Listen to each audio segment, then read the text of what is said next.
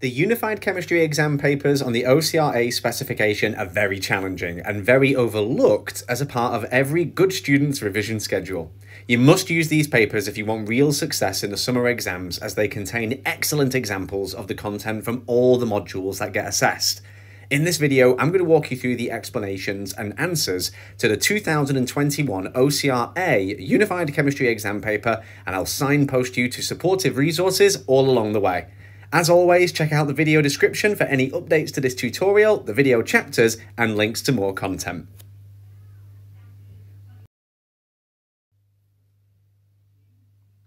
Alright then, kicking off with question one, and we've got this little intro at the start that tells us these short questions are from different areas of chemistry, and we've seen other unified chemistry exam papers start off this way. Part A is all about finding the partial pressure of carbon dioxide. So just because this is a unified chemistry exam paper doesn't mean that the calculation has changed. In order to find the partial pressure of a gas, we still need to do mole fraction of that particular gas component multiplied by the total pressure. We've got the total pressure from the question, that's the 50, but obviously what we haven't got is the mole fraction of the CO2. We do know that the gas mixture is just CO2 and O2, and we've got masses for those though.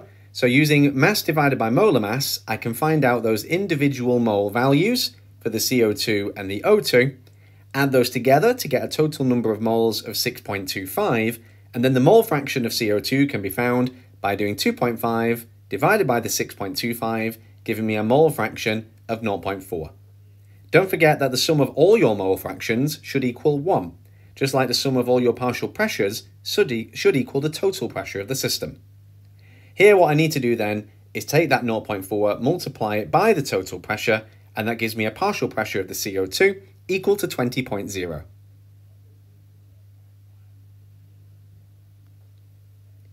Moving on to part B, and initially this question seems really, really difficult because you're being asked for two different concentrations from one Kc expression. And I think that's going to make people think there's some sort of horrific ratio thing going on in this question. But actually, it's not too bad. If you look at the reaction equation, it really makes me think of the dissociation of a weak acid. I can completely see how PCl5 has got nothing to do with a weak acid. But take a look at it. Imagine if this was HA and this was H plus and this was A minus. Can you see there what I mean? And these two products are the ones that we're being asked to determine the concentrations of. Right then, when we think about the approximations of a weak acid when it comes to its calculations, we actually assume that these two values, if they were H plus and A minus, would be the same as each other. And that's exactly what I'm going to do here. I'm going to presume that if I can find one of these concentrations, that's going to be equal to the other one. So, just like with Ka, when I write out the expression, the numerator here is going to get simplified to one of the quantities squared. Then I can rearrange the expression for Kc as a subject of that concentration. And you can see that I've got that going on just here, and then I've got my square root going on for that. So I get a PCl3 value as 2 times 10 to the power of negative 2. Then what I'm going to do is quote this as the same value for the Cl2. So it's very, very similar to the Ka stuff when you're looking at the pH of a weak acid.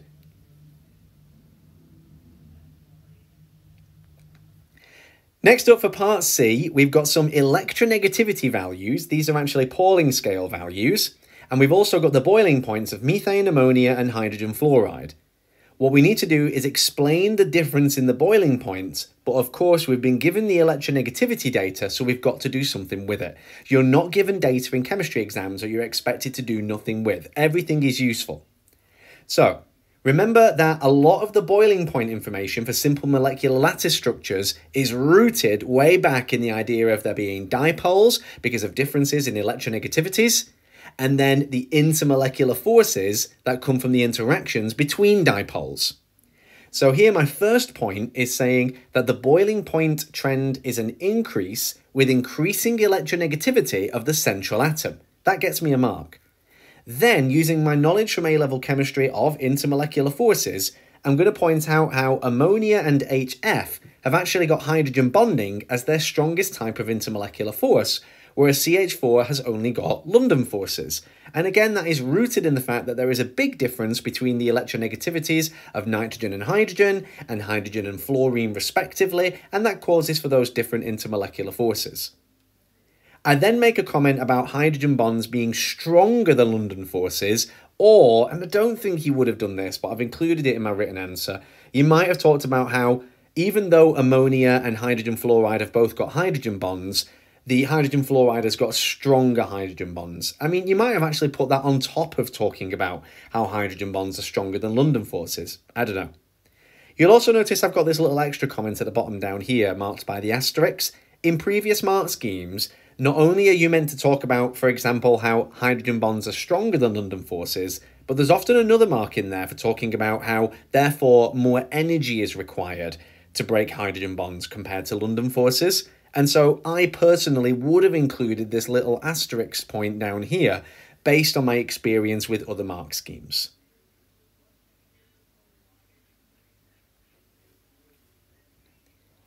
Moving on to part D, and I think there's a bit of a qualitative analysis, module 3, looking at the group 2 chemistry here. There's a bit of crossover with that. We've also got a little bit of moles work with regards to empirical formula, Let's take a look at the question. Compound A has the following percentage composition by mass. So we know, just like I said then, we're looking at uh, an empirical formula calculation. And a student reacts compound A with plain old water. That's a theme in this paper a little bit. To form an alkaline gas, B, and alkali, C. Now, the alkaline gas straight away with the fact that there is nitrogen and water here, so I'm thinking nitrogen and hydrogen, the alkaline gas is likely to be ammonia. And that's because there is a link there to the qualitative analysis topic where an alkaline gas can be released in the testing for ammonium ions. So that's your cation test in Module 3. We're being told by the question to identify A, B, and C and write the equation for the formation of the reaction of compound A with water. Okay. First off then, empirical formula, straight away, if I did the calculation, I'd get Ca3N2, and that's compound A. I'm going to go out on a limb and say that the alkaline gas is going to be ammonia, based on my knowledge of the Module 3 topic qualitative analysis. And then also based on my knowledge of the Module 3 topic Group 2 chemistry, the alkali C, considering that I've been told that calcium's involved, I'm going to suggest calcium hydroxide. I know that there is a reaction. I'm not saying, of course, that it's a, exactly the same one that I've got here, because this isn't on your specification at all. We definitely don't look at calcium nitride reacting with water. But we do talk about calcium metal reacting with water to make calcium hydroxide and hydrogen gas. So I don't think it's a massive reach here to expect someone to determine that calcium hydroxide could be the alkali C that's being produced here. Then constructing this reaction equation at the end is the final mark. If you do struggle putting together these unfamiliar reaction equations, don't spend too long on this because you're going to miss out on the rest of the paper. But I do think here that this question, whilst a little bit abstract, is a good test of general chemistry and a lot of that Module 3 material. Part E here is where things get a little bit trickier. What we've got here is a molecule of lactic acid, and we're using it throughout this question. And what we need to show is how the lactic acid molecule is reacting with sodium carbonate and aluminium. Now, there are two functional groups on lactic acid, where I do think this question makes you second guess yourself a lot. One of them is a secondary alcohol group, which you'll see I've already circled up as saying not being used, and the other is a carboxylic acid group. Now, the secondary alcohol group isn't actually reacting in this question, but it takes a lot of confidence to know that for certain. And I think this is a real demand on your subject knowledge to know that in both these reaction equations, you shouldn't react that secondary alcohol group. You are only reacting the carboxylic acid group each time. And it takes just as much knowledge in your A level chemistry to know that the carboxylic acid group is reacting here as it does to make sure that you don't react that secondary alcohol group. So, here I've got the reaction with sodium carbonate and aluminium. The big demand here is making sure that you can draw these carboxylate salt formula accurately. You could have drawn them out, you could have used a skeletal formula here, but structural formula is what I went with based on what was already given to me by the question over here on the left. And what I'm able to do by doing so, just by mirroring this type of formula, this structural formula here, I'm able to mirror that inside the, the formula here for the carboxylate salt, and I'm less likely to make a mistake. Some people struggle with writing this one here, which is for the aluminium ion containing salt, uh, carboxylate salt structure, and people don't like writing this bit here in the brackets. But ask yourself, if it was nitric acid instead of this lactic acid that was being used, would you find it so different to write AlNO33 like so? I don't think you would. And so don't get thrown off by how this is written out just here. It's exactly the same kind of thing. And you can put the aluminium at the front or at the back. It doesn't matter. Don't overthink that side of it. Just make sure you don't show any charges inside the brackets here, just like you wouldn't show charges inside the brackets of the aluminium nitrate. Part F is quite a tricky question, and I think it's a tricky question because you're told the names of lots of structures, but not actually shown them. So this is the first hack to this uh, style of question. Make sure if they name an organic molecule that they haven't given you the structure of in the question, your first thing is to draw it. Because by visualizing the molecule, that makes you more enabled to actually be able to answer the question. And so in this very challenging question, do yourself a favor, draw out the structures that it mentions. So here I've got the methyl ethanoate, and I've got this carboxylate ion just here, which I'm told I can react a haloalkane with to get to the ester, the methyl ethanoate. So we need this utmost confidence here to know that the haloalkane is going to be something like chloromethane just here. And we also need the confidence to know that this is the structure of the carboxylate ion. So how do I know that? Well, if you look at this highlighted yellow section of the ester compared to the carboxylate, we can see where the carboxylate group is coming from. It's got that C double bond O and O feature on the same carbon, and the oxygen has got a negative charge. Now, because that's got a negative charge, my attention is drawn to that as well as being the nucleophile. We can also see here that the Haloalkane is just going to be chloromethane, and that's because the rest of the ester is just a little CH3 group. It's that methyl ethanoate, isn't it? So I'm going to suggest chloromethane. My curly arrow mechanism here is nucleophilic substitution, which is mentioned in both modules 4 and 6. And here we can see we've got curly arrow going up to the delta positive carbon and off and onto the chlorine. I also am going to suggest here that the haloalkane is getting attacked by a nucleophile because in both of the mechanisms for, well, both of the examples, I should say, of nucleophilic substitution in your specification, that's in Module 4 and in Module 6, the haloalkane is the component getting attacked by the nucleophile. So let's not make it the nucleophile today, let's just let it get attacked by one. Don't forget to show both products over here in any curly arrow mechanism. Consider all the products that should get made and make sure you show them nice and clearly side by side with the bond connectivity really correctly done.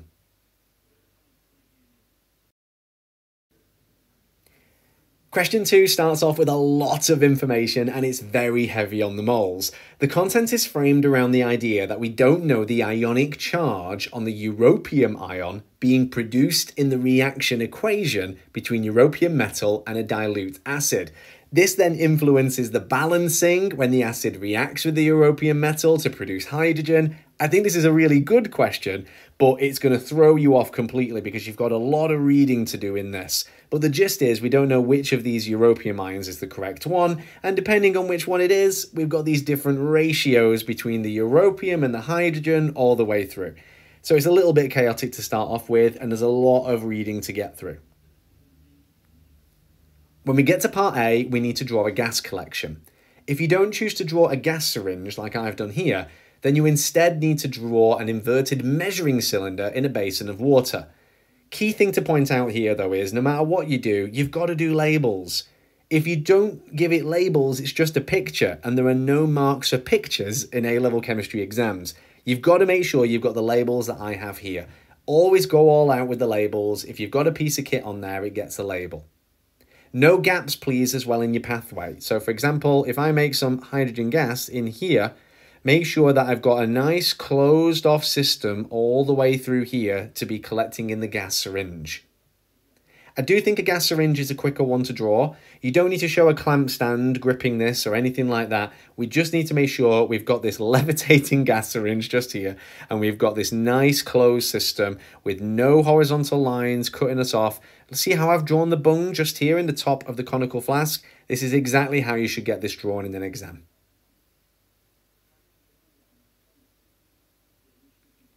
Next up in part B, we are told to use the experimental results to conclude which equation is the correct one from the reaction. So, using the results, what we've got to do is find out the mole value of both the hydrogen gas produced and the europium that we used. Now, when you look at the ratio of the mole values just here, we can see that this is one to one. It's imperfect, but it's one to one. And I don't want to say this is something you're always going to see in the unified chemistry papers, but I have noticed that they do sometimes use a bit more real chemistry data where everything isn't completely perfect. And so the fact that these aren't absolutely identical is totally okay.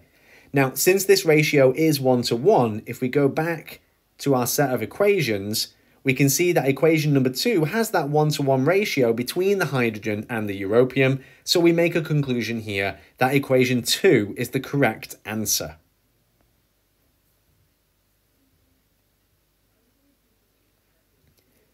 In part C, the student repeats the experiment but adds concentrated hydrochloric acid instead of dilute hydrochloric acid. The apparatus gets hot during the reaction. Predict how the hot apparatus would change the student's results, and the conclusion in part B, explain your answer. The first mark here is pretty expected. Gases expand as they get hotter. The second mark is for linking this to a larger volume of hydrogen, therefore being recorded. Not actually achieved, just recorded, because you're not going to get more hydrogen, it's just going to expand because of the heat. This results in a larger number of moles assumed to be collected for the hydrogen, and this affects the ratio we were discussing in the previous answer. Part D for question 1 is a very tough end to the question. The student modifies their method as outlined below. They have 1.52 grams of europium and it reacts with an excess of dilute hydrochloric acid. So far so good. An excess of aqueous sodium hydroxide is then added to the reaction mixture. A precipitate forms, which is collected, dried, and weighed. We need to explain how the mass of precipitate forms, so that would be a mass in grams recorded in the lab, would allow the student to conclude which of equation 1, 2, or 3 is correct. So just when you think you've proved which equation is the correct answer, the question throws you this curveball about hydroxide precipitates. This is a really challenging end to the question. Let's have a look back at what's happening. Some sodium hydroxide is being added to the products, and the only thing that can be reacting with this sodium hydroxide is the europium ion. But remember, we don't know for certain just yet which europium ion is the correct one from the three different equations suggested at the start of the question.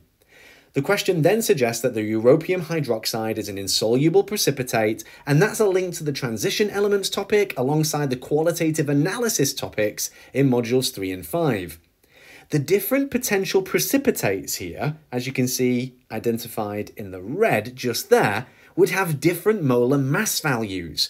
So we can use these alongside the mole value up here, because we've been given that at the start of the question, to predict a theoretical mass in grams for each of the options and see how this matches up with the mass value in grams recorded in the lab.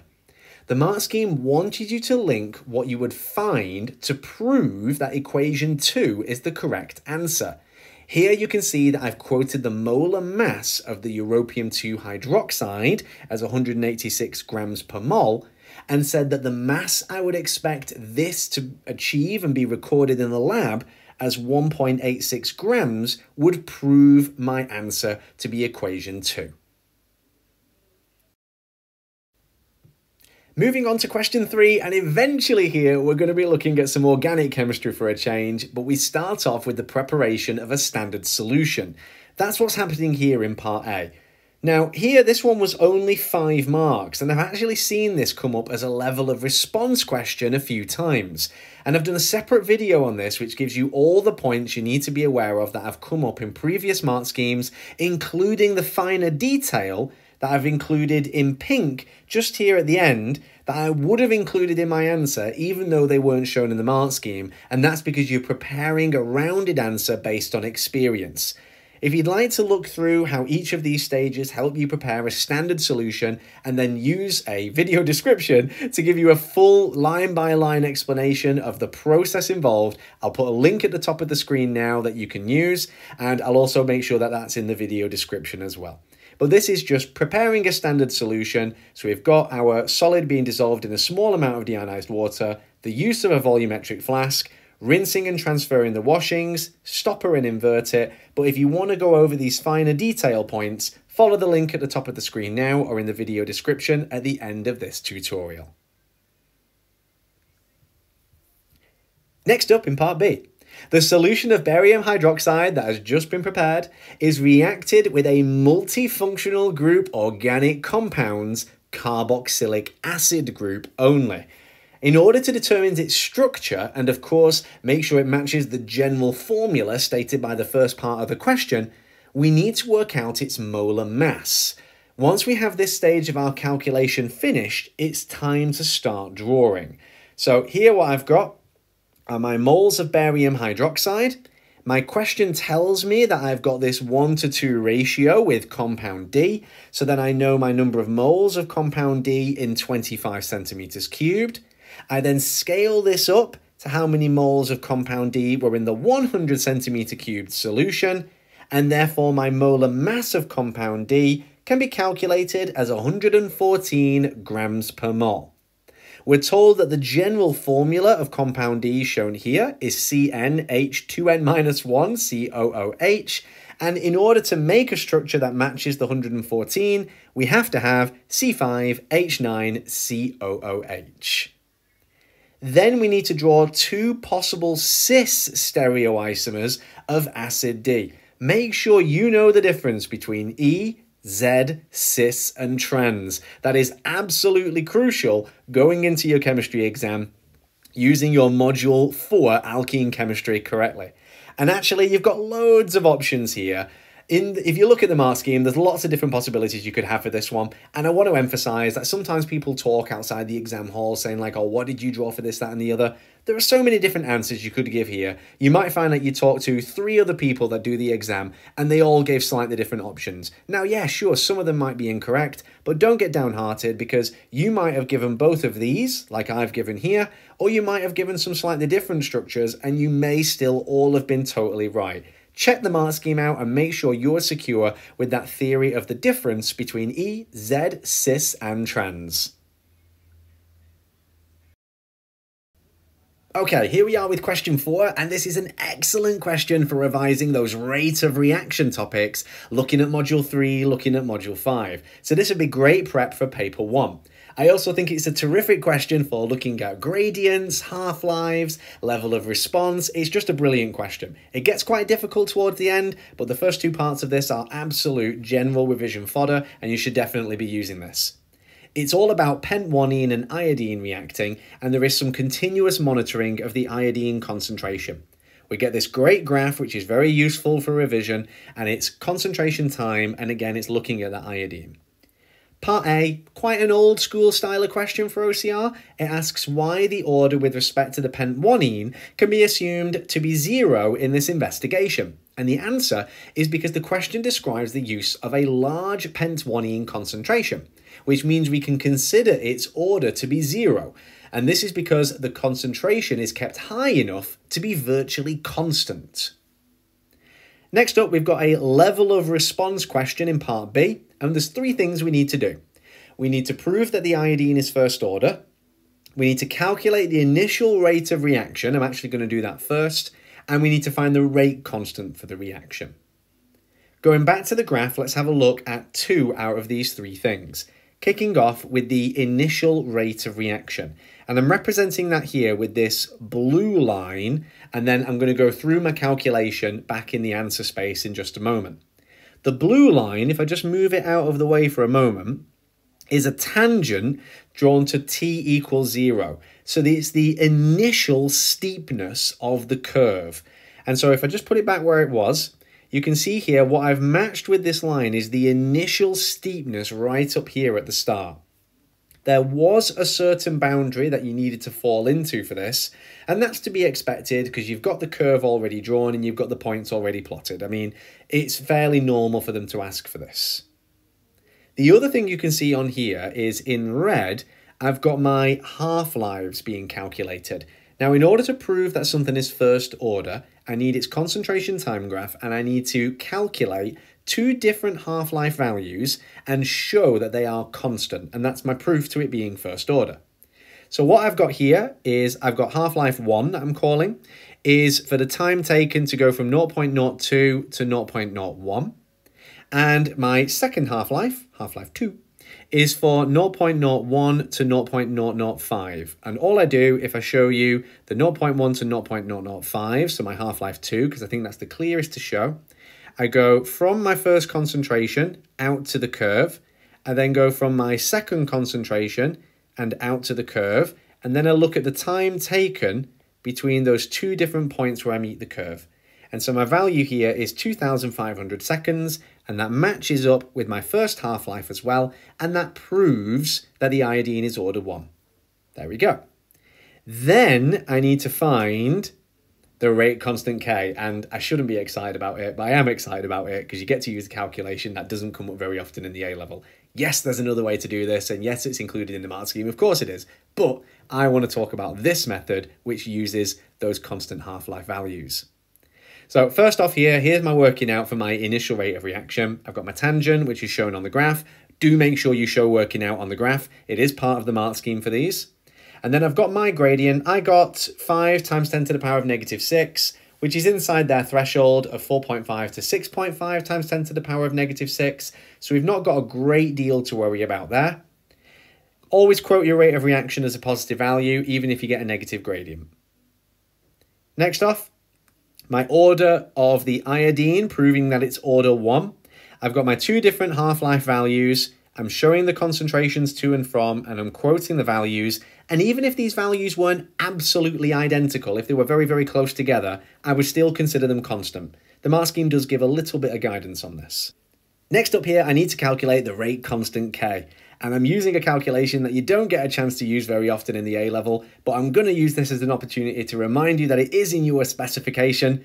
If you have got a first order reaction, which I have got here, because that pent 1-ene is being considered order 0, and the iodine here has been proved to be first order, that's the whole point of this section of the question, I'm going to calculate the rate constant K by doing natural log of 2, so ln of 2, or ln of 2, however you choose to say it, divided by that constant half-life value. And so here what I've got is ln of 2 divided by, this value remember was the 2500, and that gives me a k value of 2.77 times 10 to the power of negative 4. And again, there was a range for this, but it was consequential based on your other work in the question as well. Next off here in part C, I found this prediction of a two-step mechanism to be a little trickier than some of their older ones, as the overall reaction equation has actually only got one product. So you have to use your head a bit more here and think of a set of intermediate products that you could make in step one that become your reactants that you immediately get rid of in step two. The reactants in my slow step, aka my rate determining step, for a straightaway guaranteed mark in all of this must be the pent 1-ene and the iodine, as we are told that there is evidence in this section of the question that they are both order 1 in the rate equation. If, for example, the iodine was speculated to now be order 2, then I would make sure to use 2 moles of it in the balancing on the reactant side, but I'm just giving you a hypothetical there. The rate determining step reactants must only be the species from the rate equation, and they must only be in those proportions. So for example, one mole of each, as we can see here, because we're told they're both order one. Now, combining the two steps that I've got here for my suggestion of the two-step mechanism does actually cancel down to give the overall reaction equation, which is my other goal with this kind of predicting scenario. To finish part C, we have a bit of a, a regular conclusion to this. Um, we have a question thinking about adjusting the concentration of pent 1-ene to determine its order. And I don't think this is too tough. Just think about how you might have uh, worded this to see the two points here about keeping the iodine constant and only adjusting the pent 1 at this time.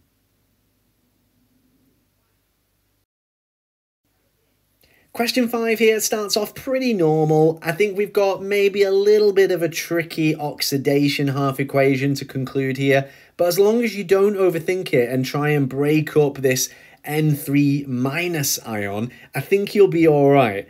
Here we're being told that sodium azide is being used in car airbags and the airbag inflates when the NaN3 decomposes to form nitrogen gas. There's the reaction equation that we'll come back to shortly in part 2 of section A. We're told it's a redox reaction, and we need to write half equations for the reduction and oxidation processes that take place. Again, there's not a lot going on in the reaction equation, so I don't think it's too bad here to suggest the two starting ions and then balance this using the products shown in the equation. I think that's quite generous in the unified paper for two marks.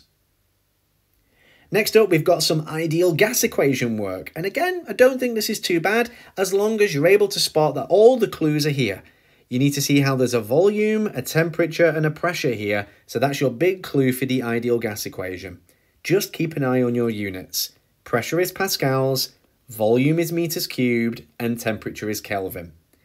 I've got all my working out and my ratio shown here. So once I've got my number of moles of the nitrogen, I ratio across to the sodium uh, azide. I believe it's called sodium azide. It absolutely is which is a 3 to 2 ratio here. So I divide by 3 and times by 2, break it down into stages, and then I find that mass value of the sodium azide by multiplying by the molar mass, getting me to 34.5. And again, just check whenever you give an answer in a chemistry exam that you've put the numbers through on your calculator correctly, and if there's any precision requirement, like here, giving your answer to three significant figures. Moving on with part B of question five, and I'll have a little confession to make in a moment. But this question actually has a pretty regular calculation to kick off with, which is for the pH of a weak acid.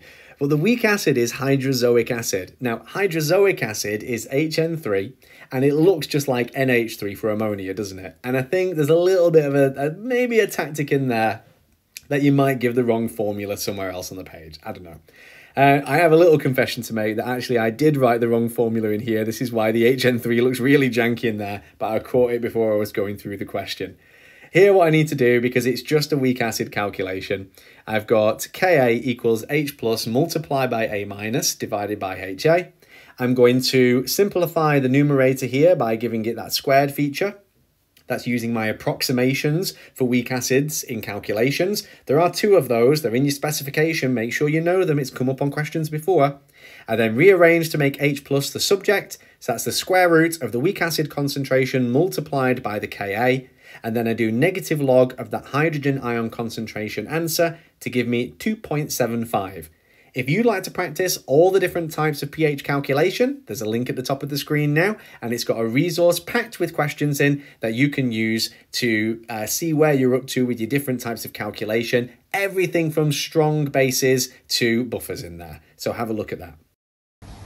Next up here, we are allocating some conjugate acid base pairs for the reaction of the HN3 with water. And we're assuming here our products, of course, because the HN3 is our acid, are going to be N3 minus, the deprotonated HN3, and we've got our H3O plus, which is the protonated H2O.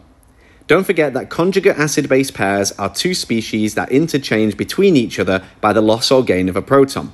So when we select a pair, we need to make sure we choose one species from either side, and the only difference between them in terms of their chemical formula should be an H plus ion. That makes, for example, the HN3 and the N3 minus here a pair, and the acid out of the pair is going to be the one with that extra H plus ion, making that the HN3. So you can see here I've labelled those as A1 and B1. The H2O and the H3O plus are the other pair, with the H3O plus being the acid and the H2O being the base. Next up here, we've got some application with the Schmidt reaction. Never heard of this before in your A level. They describe the use of a functional group change in this, so they give a bit of a description up here. But I would write this out, and I would also show any molecules that they name but don't draw, because it allows you to visualize this when you're putting the answer together. They also give two gases that are found in the atmosphere as in the products of this. I'd start having to think about what gases are quite common in the atmosphere so you don't go completely off, off the wall with this and suggest something random. I don't think putting this together is too bad. I think the trick to this one lies in having a look at what the functional group change is with a bit of a diagram, drawing out the 2-methyl-butanoic acid before you have a go at this down here, I don't think this one is too bad, as long as you're good with drawing out those structures and supporting the question with some diagrams. Part C, to finish the paper, is quite a bit abstract, but it does follow a recent format of OCR exam questions where they ask you to determine the identity of a range of substances labelled with letters. We see this quite a bit in transition elements questions, but also very often in organic chemistry work. The question is split over two reactions, and I'm going to treat them completely as separates. There's no real crossover between them other than the fact ammonia is being used. Let's focus on reaction one first. In this, we're told that the copper 2 oxide reacts with excess ammonia to produce E, F, and G. And we've got some data in here for each of these, and we've got some data for the copper 2 oxide at the start as well. So our journey here is to use a logical method, which could vary a little bit from person to person as a way of determining what each of the structures are. And you get the most marks in this particular exam question for getting as many of these letters determined as formula as correctly as you can, and then for showing a decent process for how you got to each one of them. So let's have that working out shown. Let's make sure it's really obvious what you think each letter is. Let's have a look through what the right answer was. Now, first off here, it's instinctive in a way, but I've got the number of moles here of copper 2 oxide calculated, but I'm not going to use that for a little while. I'll explain what I'm going to do with it later, but I'm just going to have that here for now because I'm going to come back to its use shortly. I'm actually going to start my analysis here looking at G, because when I rewrote the reaction equation, labeling it up with all the different data I have for the letters, I always find this incredibly useful for these questions I found that I had the most data for G. I've got a mass for it, and at room temperature and pressure, I've got a volume. Now, the room temperature and pressure volume allows me, with the use of the molar gas volume, to determine a number of moles of G. Now, since I've also got a mass, I can actually find the molar mass, or we can call that the MR value of G, which is 28.0 grams per mole. Now, since I'm actually told that the copper 2 oxide is reacting with ammonia, it's not a massive leap to then make the conclusion that G, being a gas, must be nitrogen. So I'm making the conclusion here that G is nitrogen and I'm already one down. Next off for E. E, if you look at all the products, is the only solid product. Now, considering we've got some copper over here on the reactant side, it's pretty fair to assume that E is going to be the destination of the copper on the product side of things. So I'm going to assume here that there's a one-to-one -one ratio at least between the copper oxide and whatever E is. Now, as I mentioned before, I do actually have the mole value for the copper 2 oxide, and that's 0.06. So here I'm going to assume that E is 0.06 as well. And I'm going to do molar mass equals mass divided by moles for the E and see what I get. And actually, I get the value for copper. So again, I've got my next one ticked off. E is solid copper metal. Now, what that leaves me with, it's not the most exotic of methods, but all the other elements I've not used yet do make a very familiar liquid, don't they? So I've got oxygen, hydrogen's in here, I know it's a liquid, and unfortunately the question didn't give me any more data. F is going to be water, but I still explain that conclusion. So what about the balanced reaction equation? Well, you could get to this by just writing out the individual components and having a go at balancing, but you might find you are perhaps a little bit quicker here if you actually considered the mole values of the copper oxide, of the copper, and of the nitrogen that you were able to get from the data in the question. Moving on to reaction two, and if you're good at organic chemistry, I definitely think reaction two is easier to solve than reaction one. Again, I've done a little sketch here of what's happening in the description of the question with labels of data, and I really do think this makes a massive difference to how you can answer these questions. we are told that H reacts with ammonia to produce an organic compound called I, and there's loads of data for that structure, and a chloride salt labelled J. Now, I is actually pretty straightforward to analyse. It has a clear molecular formula given by the question, so I've got that up here. C2H5NO, I'm going to come back to that quite a bit in a moment. And we've also got an infrared spectrum. Now, in the infrared spectrum, it's very clear to see that I've got an NH peak and a C double bond O. First off, I'm going to draw a line from 1500 upwards, like so, and I'm going to ignore the fingerprint region over here, because unless I have some further information, I'm not usually digging around in this region. So the peaks I'm looking at are this one, maybe this one, but I'll explain why only maybe, and this one just here.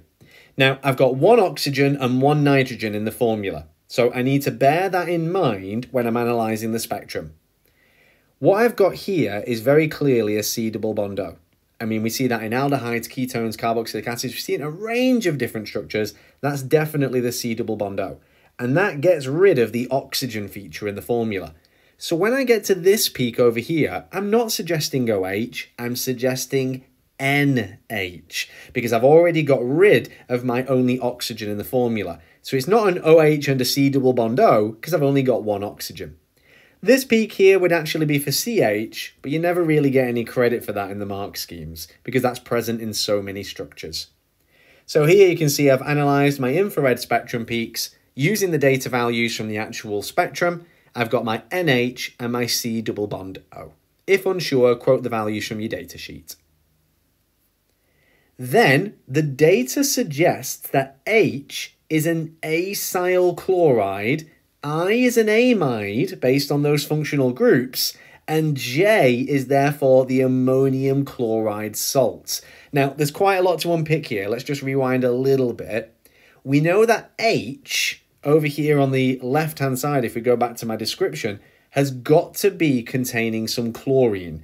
Now, the reason that I know it contains some chlorine is because I have all the formula information here in the spectra data for I, and there's not a whiff of chlorine in that, whereas over here, J is a chloride salt. Since there isn't any chlorine in ammonia, that means H must have had some chlorine in to begin with. Now, when you start to piece all of this together, if you've really revised your organic pathways very well, you should start to think here, I've got some chlorine in here and it's an organic, I've got NH and C double bond O in I. That sounds a bit familiar. And J is a chloride salt. This is ammonia reacting with an acyl chloride to produce a primary amide and an ammonium chloride salt. This is absolutely module 6 and you can see I've got the reaction equation here.